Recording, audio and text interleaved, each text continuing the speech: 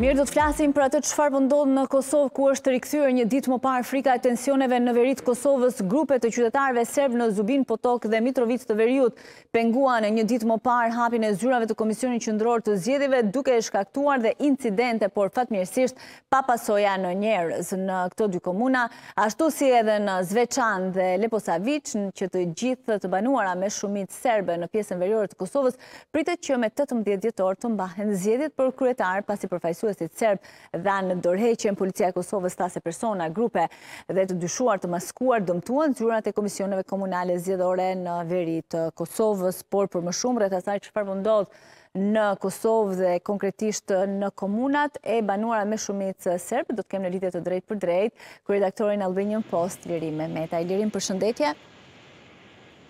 Përshëndetje. Sa e rrezikshme është situata në veri të Kosovës, sa ajo mund të përshkallëzohet dhe të bëhet e pamenaxhueshme?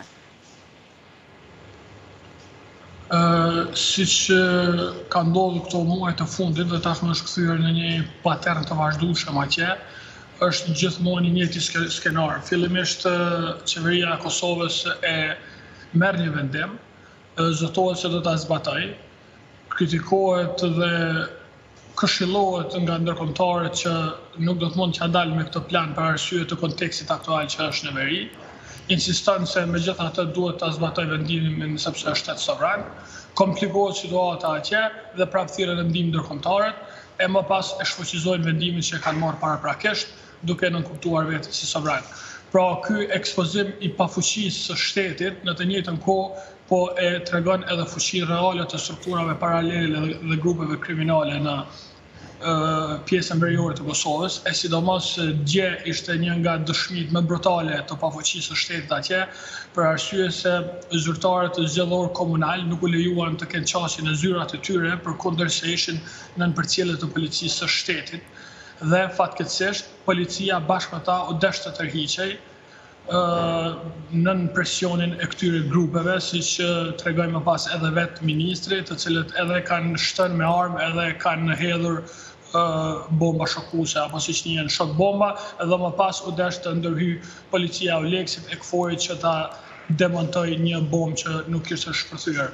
Pra, situata është jashtëzakonisht tensionuar atje, ndoshta po t'i bëjmë një matje me gjitha krizat e vazhdueshme që kanë ndodhur kohët e fundit, aktualisht është kriza më e madhe në veri, sepse faktikisht dje është dëshmuar se shteti nuk e ka fuqinë ta demonstrojë Është dhunë në ligjërime dhe ligjin në AKS.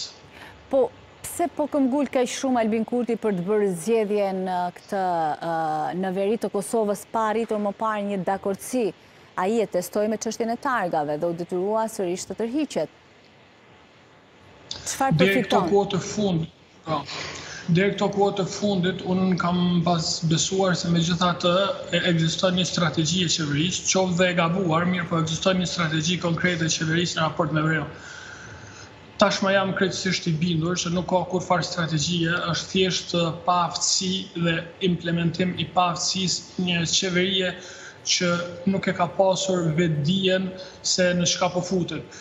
Po ju them deri këto kohët e fundit kam pas besuar se deklaratat e Albin Kurtit dhe të Lëvizjes Vetëvendosje në opozitë janë ide reale të tyre se çfarë mendojnë ata për veriun. Mirëpo aktualisht dhe kam pas pasur njëfarë ideje që janë ekspozimi i opozitës e cila gjithmonë kërkon më shumë sesa pushteti dhe i bën presion pushtetit. Mirëpo tani definitivisht kuptohet qartësisht se nuk ka pasur kurrfarë analize as sa kanë qenë në opozitë dhe as më pak tani që janë në pushtet dhe përfitimi përveçse elektoral, sepse ende luhet me këtë kartën e veriut, nuk ekziston asnjë përfitim konkret. Pra ka përfitim të pushtetit, mirëpo kurrfarë përfitimi, përfitimi të shtetit. Po- dhe siç po e shohim, nga nga kjo koha e marrjes së vendimeve sovrane, siç është ai mhm. me targat e deri më tani, veriu veçse është shkëputur më shumë edhe ka dalur nga kontrolli më shumë. Pra paraprakisht kishim targa, mirëpo kishim serbë brenda institucioneve dhe aktivitet më të butë te strukturat paralele, Aktualisht edhe i kemi targat ilegale, edhe i kemi serbët të larguar, edhe e kemi fuqizimin e strukturave paralele atje. Nuk po them se qeveria e ka fuqizuar atë strukturë paralele, sepse ajo kontrollohet dhe merr fuqi nga Vuçiqi dhe nga Beogradi, mirëpo pushteti aktual i ka dhënë fuqi konkrete, duke e ekspozuar siç thashë më herët pafuqinë e vet. Po, por ajo që më bën përshtypje nëse nisemi nga vendimi për targat, ishte koha kur dukej se kishte një dakordësi sa i përket planit franko-gjerman.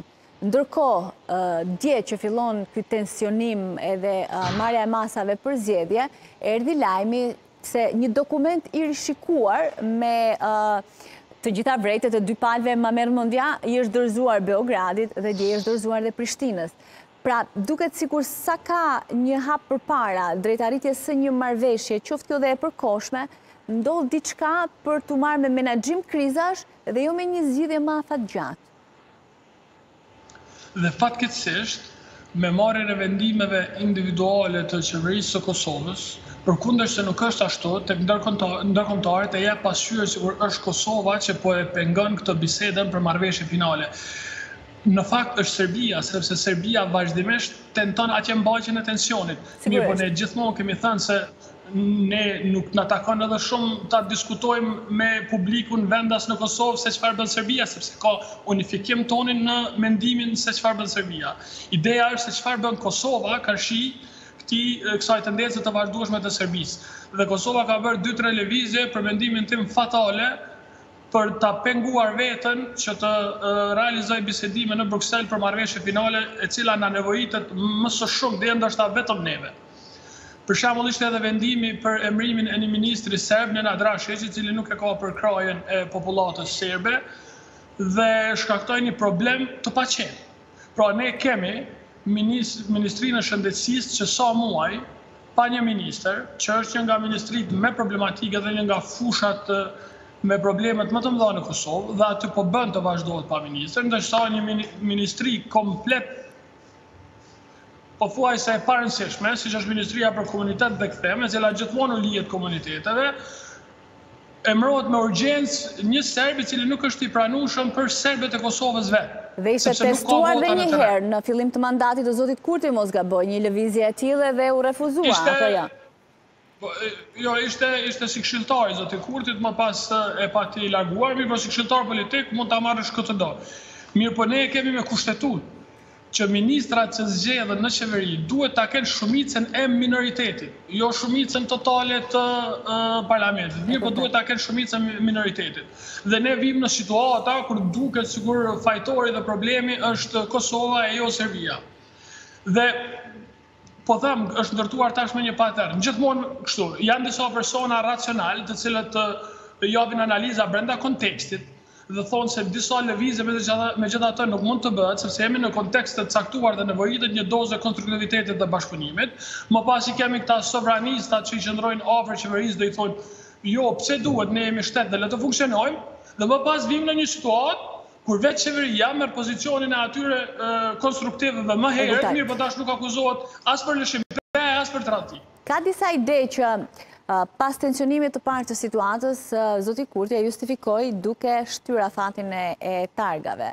Mund të jetë kjo një justifikim për asociacionin? Po ishte një justifikim banal, përderisa vazhdimisht kishte një grup të madh njerëzve folësve publikë që i thonin që le ta shtyjë vendimin sepse kjo është kërkesë e miqve amerikanë dhe ata insistonin që duhet të vazhdohet me zbatimin e ligjit dhe më pas na vjen vetë kryeministri na thotë deshta ta shtyjmë sepse kërkuan amerikanët. Po kjo kjo kjo thuhej tash dy muaj. Pra do të jetë paterni i njëjtë, Pra, siç e patë sot, pati një deklarim të ambasadorit amerikan në Kosovë, mhm. i cili tha që nuk ka kushte për zgjedhje atje. Tha diçka që ne të gjithë e dimë. Tha diçka që edhe vetë qeveria e di. Mirëpo ata vazhdojnë derisa vjen një moment qëditshëm për ta turpëruar veten dhe të dalë përsëri Kryeministri i Kosovës të thotë m'u desht ta shtyj sepse unë nuk i kisha disa informacione që i kishte ambasadori amerikan. Pra, i vetmi shpjegim logjik pse ndodh kështu është largim i vëmendjes nga problemet konkrete. Sepse, ju e dini, ne asnjëherë nuk kemi pasur shkëmbim tregtar më të madh me Serbinë se sa sot. Pra, aktualisht që po flasim, ne kemi importin më të madh nga Serbia qysh nga paslufta. Po. Po të donim ne të bënim ndonjë shkëputje të tillë dhe Si të thuash, ta rindërtonim marrëdhënien tonë me Serbinë, atëherë do të fokusoheshim në reciprocitet, në këto gjëra konkrete, sepse importimet nga Serbia e dëmtojnë shumë ekonominë vendase, sepse ato vijnë me çmime dumping, janë më të lira dhe mbase janë edhe më kualitative. Edhe më konkurruese pastaj, si rrjedhojë. Shumë më konkurruese edhe dëmtojnë prodhuesin, prodhuesin vendor. Mirëpo po ju them, i vetmi shpjegim racional për këto veprime komplet jo racionale të qeverisë në raport me situatën në veri, kanë të bëjnë me tërheqjen e vëmendjes, sepse po ta mendosh, vetëm një kartë zgjedhore e ka Kurti sot, e është veriu dhe pozicionimi i dinjitetshëm në raport me me çështjet atje. E kuptoj. I dinjitetshëm në thonjëza. Po, sigurisht. Lirim, faleminderit shumë që ishe me ne. Faleminderit juve, gjithmonë kënaqësi.